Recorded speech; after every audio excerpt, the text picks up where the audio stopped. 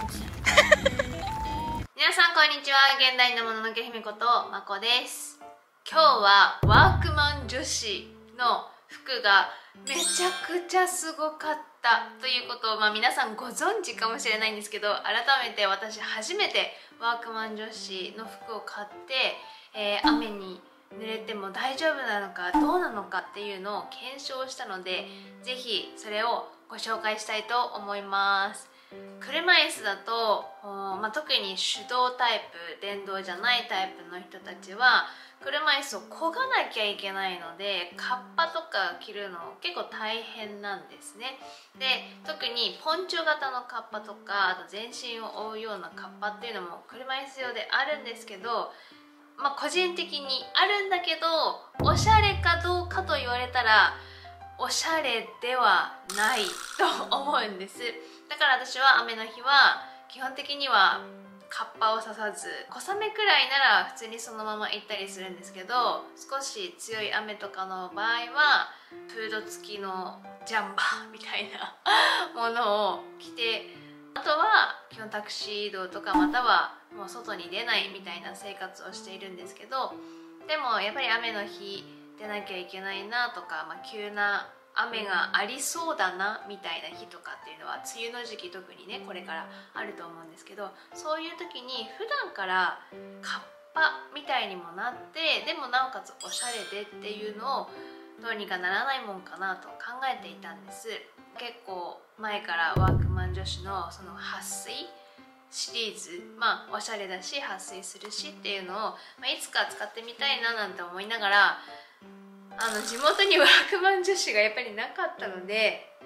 えー、オンラインで買えるものだけをチョイスしてます。なんかいろいろシリーズがあるんですけどオンラインで買えるものと店舗でしか買えないものがあるんですがやっぱりワークマン女子がないあの地域の人たちの方が多いと思うのでまずはオンラインで買えるものだけをチョイスしています。はじめこちらレディース撥水マウンテンパーカーですね。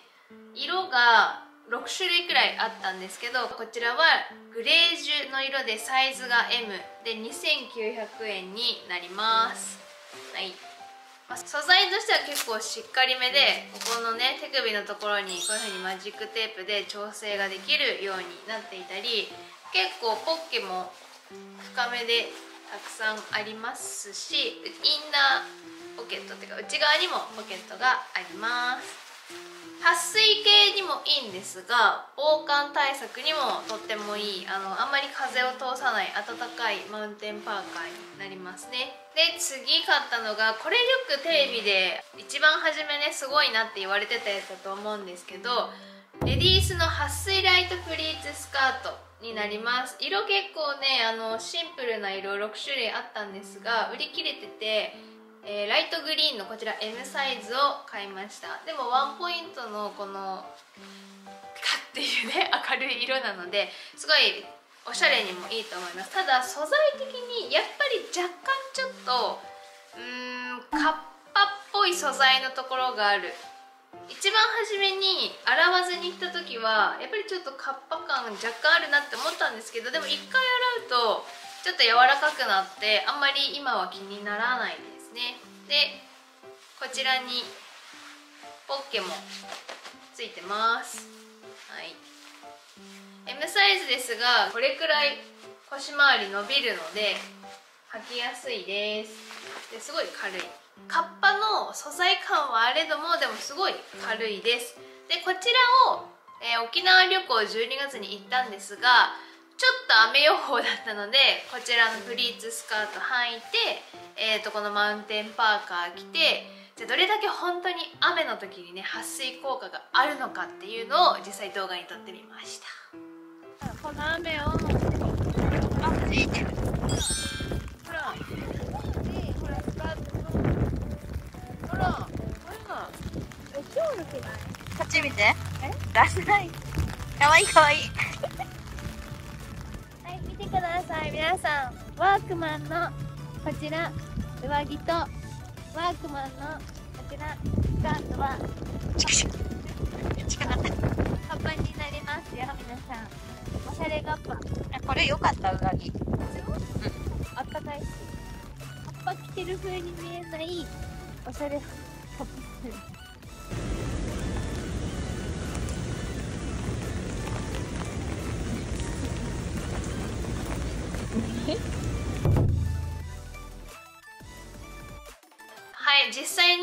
日走りましたがこうパッと見ね濡れてるような感じすると思うんですけどでもパパってやれば水は弾いていきますし体の中までこう水が浸透してくるっていうことはずっと雨の中移動してましたがありませんでした。でなおかつ普通の私服として着れるのでおしゃれという部分でもとってもいいと思いますわざわざこうポンチョとかは脱いでどこかにしまったりしなきゃいけないっていうのがあるんですがでもこれは本当にお店の入お店に入る時に少しパパって払いてしまえば濡れてないのでとってもグッドです。とってもグッドだって。とっても素敵な商品だと思います。次スカートはちょっと普段履かないんだよねっていう人に対してパンツも買ってみたんですね。こちらは超撥水のシェフパンツえー、M サイズアイボリーなんですけど1500円。もう全部がやっぱりワークマン女子って安い。でシェフパンツなので結構ボーイッシュスタイルにあのー、ボーイッシュスタイルが好きな人がおすすめかなと思います。こちら3種類色があったんですけどアイボリーをチョイスしました。えーと、ポッケがねすごいたくさんあるんです。こちら普通のゾーンに1つとサイドにも大きめの本当に深いここの膝くらいまであるんじゃないかっていうホッケとあとははい後ろのねホッケ。全部で、まあ、左右合わせて6つですねホッケがあります、はい、でこんな感じで M ですけどすごいゴムの伸縮もありますしここの留め具があるんですけどインナーにもこの紐があるのでちょっとここ止めるのしんどいなっていう人はこっちの紐だけでキュッて結んでしまえばいいのかなというふうに思います。シェフパンツを使ったコーデがこんな感じです。やっぱりちょっとボーイッシュというかストリートっぽいというか そんな感じで合わせてみました。M サイズですけど本当にゆったり感があって私身長を立つと1 5 2センチくらいなんですけど裾こんな感じで座った感じ余ります。で太ももも結構お肉があるんですがそれでもゆったりとした感じで履けるので着心地もいいですね。ウエストも M サイズで私お腹周り太いんですけどそれでもこれだけゆるゆるに履けます。股上も深いのでいい感じに全部しっかり上まで隠れます。でマウンテンパーカーと色味合わせると若干色が違うのでセットアップっていう感じには見えないです。でやっぱりベージュ同士合わせた合わせちゃうとちょっと作業着っぽくはなるかな。ただこの2つ組み合わせれば別にカッパ着なくても雨には最強な組み合わせになってます。でこちらのパンツは、えーと、40回洗濯しても超撥耐久撥水が続くっていうのと、まあ、高撥水であったりあとは反射材っていう視認性をサポートする反射材付きなんだって。ちょっとこれ暗闇でやってないのでわからないんですけどでも車椅子の人たちってやっぱり夜見つけられにくいのでそういった反射材機能があるっていうのも普段普通におしゃれとして履いてて全く問題ない形なのでいいと思います。これメンズとかもあるのでぜひチェックしてみてください。で次最後にこちら4つ目黒のパンツを買いました。こちらはソロテックス使用フリースターパンツっていうやつであの撥水っていう部分に着目したわけではないんですけどでも一応撥水効果がついてますよっていうふうには仕様には書いてありました。こちらも1900円で S サイズになります。でこれ何かっていうと S サイズではあるんですが、えー、裏地にねここゴムがあって左右に同じように結構4センチくらいこう引っ張ると伸びるんですよ。だから S といえどもウエスト私太いですが入りました。こちらあのボタンがあるんですけどやっぱボタン苦しいなって人はこちらも内側にねこの紐がついてるのでこちらでパンツ留めればいいと思うのと私はいまいちうまく使えなかったんですが足の裏地にこういう風にボタンとなんかこう変な変なっていうか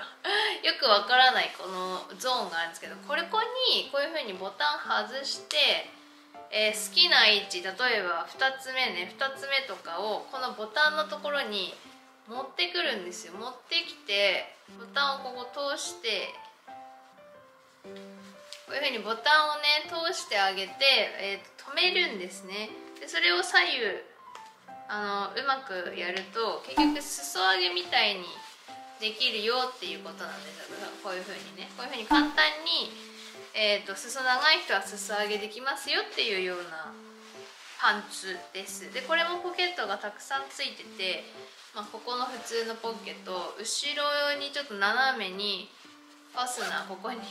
あってここにまた1つと後ろにポッケがあるんですけどこれで左右6つですがここになんか謎の紐がついてるじゃないですか。これは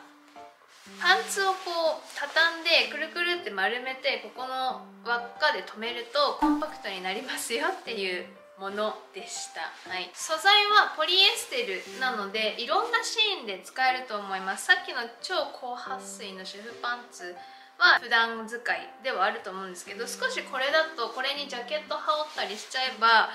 ーマルな感じができるかなと思いますね、はい、普通の黒パンツとして使えるので、まあ、どんなコーデにも合うと思いますが私はこんな感じでコーデ組んでみました。上はデニムのジャケットとインナーはさっき着てた白のロンティーです。はい。全然防水というかそういったパンツには見えないですね。でさっきのマウンテンパーカーも上から着れます。デニムロンティー着てても上から羽織れるくらいのサイズ感が M でもあります。なので冬厚着ニットの上からでもこれ1枚着ても多分苦しくないかなと思いますね。私二の腕結構パンパンなんですけど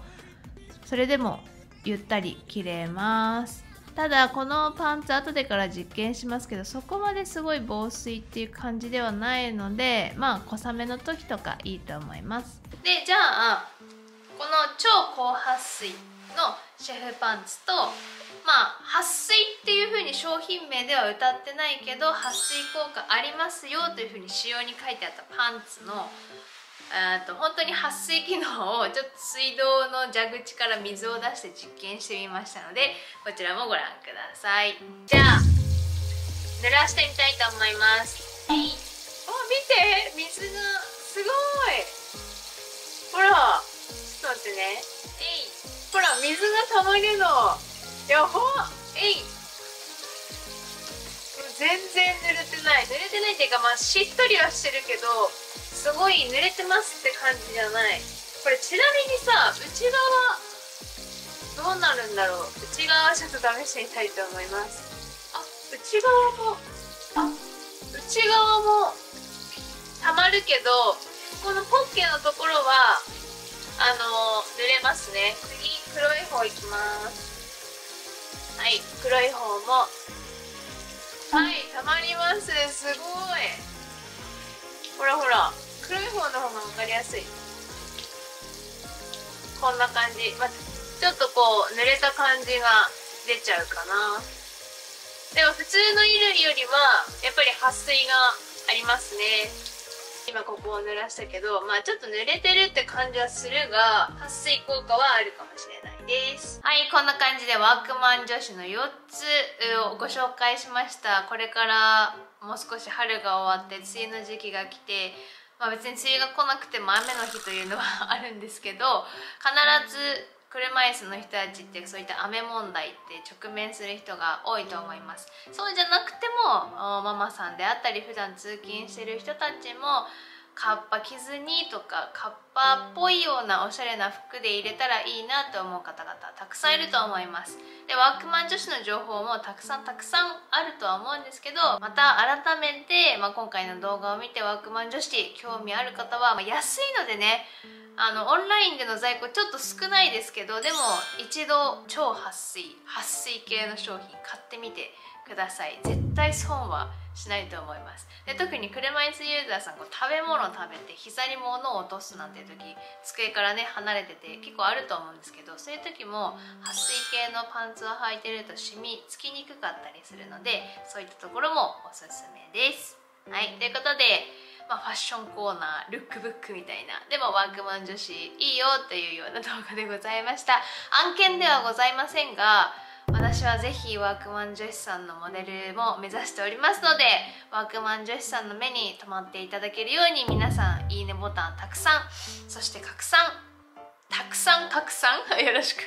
お願いいたします。はいということでこの動画が良かったなと思っていただけたのであればぜひいいねボタンとあとはチャンネル登録をよろしくお願いします。では本日も最後までご視聴ありがとうございました。